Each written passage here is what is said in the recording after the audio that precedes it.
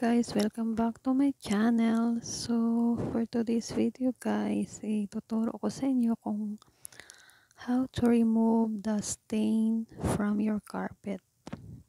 Uh, kasi itong carpet namin natapunan sa ng coffee or tea, coffee and tea. So, itong gagamitin ko ngayon is yung uh, binili namin sa labas na ang pangalan is Dr. Bakeman.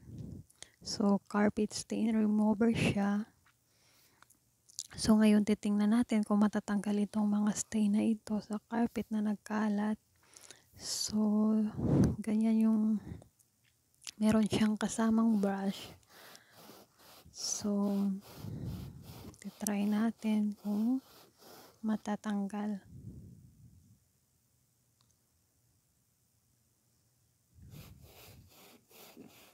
So, kailangan lang natin basahin yung sponge. And then, i-brush sa damaged area.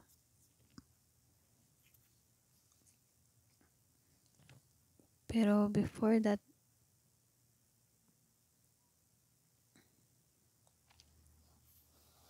So, pwedeng ganun i... Kasi hindi mo siya may spray kasi nga may sponge. So, yan, i-brush lang natin ng maigi. So, may ginalagyan natin ng patak yung mga may damage area para mabilis na lang siya. So, dito natin malalaman kung effective yung product na ito.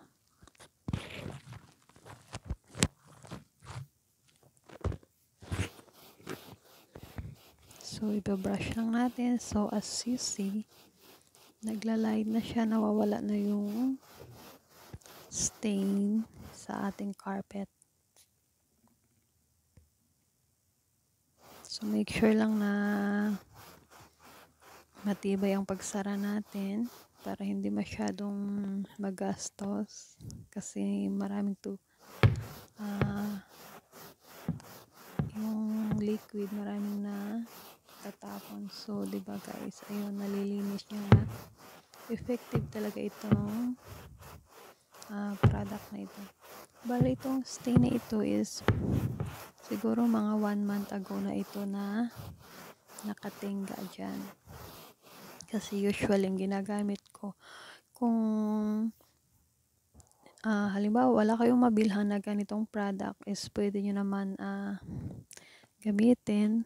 Optional yung vinegar or lemon with baking soda. So, ihahalo mo lang yung baking soda at vinegar o kaya lemon depende sa kung ano yung available sa kitchen mo so diba guys ayun nalilinis niya na nga so napaka effective talaga ni Dr. Bakeman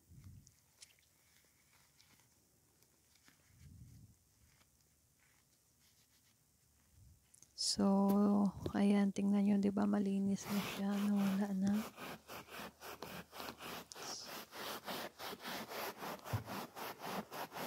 So, kailangan mo lang i-brush ng maigi para talagang totally mawala siya.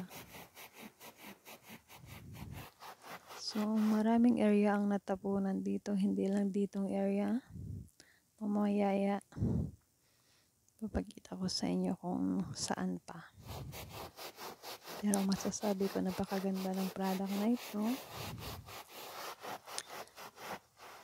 And mabibili mo siya sa kahit saang store or kahit saang supermarket. So, di ba guys, ang linis na. Nawala na talaga siya.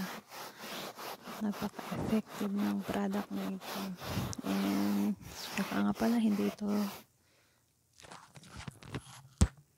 sponsored ang product na ito.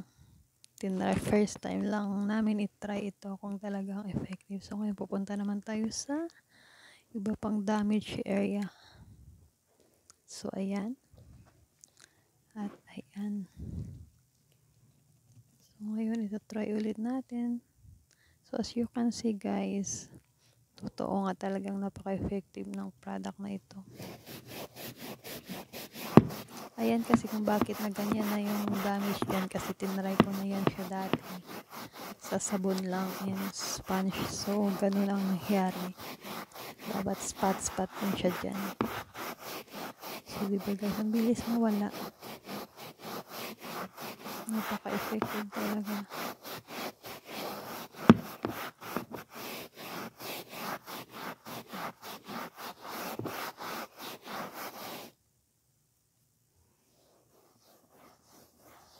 O, di ba? Laging nat effective din naman yung baking soda at saka yung vinegar o kaya lemon kasi na-try ko na yan din dito yung carpet na ito dati.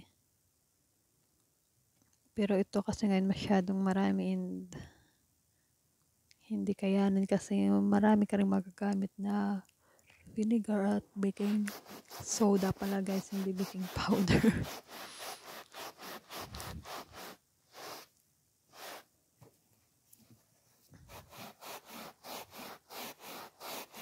so yun nga lang, kapag gagamit ka ng ganito, medyo ano lang siya, ma, nasasa, ma, madaming masasayang kasi syempre kapag marami siyang uh, liquid na napupunta sa sponge.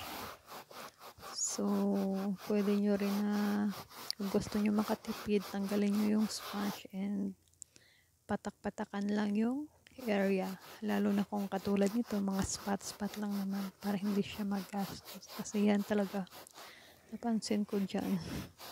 But para ang daming natatapon. So, ayun, punta pa tayo sa ibang area. So, ayan, meron namang mga spot dito.